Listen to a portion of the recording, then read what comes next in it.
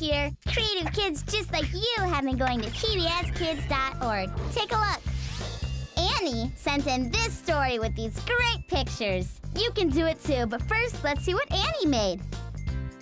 Every day I would fly around town to see who needed my help. When I hear someone say help, I'll help them carry stuff. Then I'd fly again to help out some more. Strength is my own power. Being strong is a great superpower. You can make a story like that too by going to pbskids.org. This next one is from Justin. That was the fastest Supergirl I had ever seen. That was lost in space. And she went to Mars.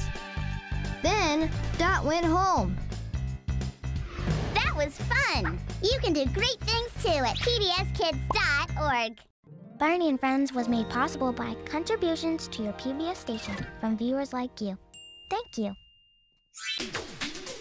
It's Curious George. We could put a garden on our roof. Eggplant. You don't plant eggs to get eggplant, George. It's Curious George. Weekdays on PBS Kids or watch anytime you want at pbskids.org.